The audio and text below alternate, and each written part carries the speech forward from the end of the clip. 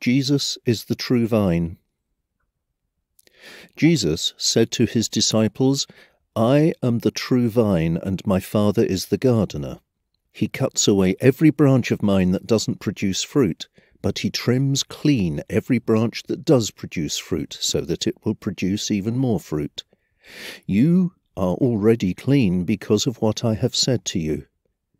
Stay joined to me, and I will stay joined to you. Just as a branch cannot produce fruit unless it stays joined to the vine, you cannot produce fruit unless you stay joined to me. I am the vine, and you are the branches. If you stay joined to me, and I stay joined to you, then you will produce lots of fruit. But you cannot do anything without me. If you don't stay joined to me, you will be thrown away. You will be like dry branches that are gathered up and burned in a fire. Stay joined to me, and let my teachings become part of you. Then you can pray for whatever you want, and your prayer will be answered. When you become fruitful disciples of mine, my Father will be honored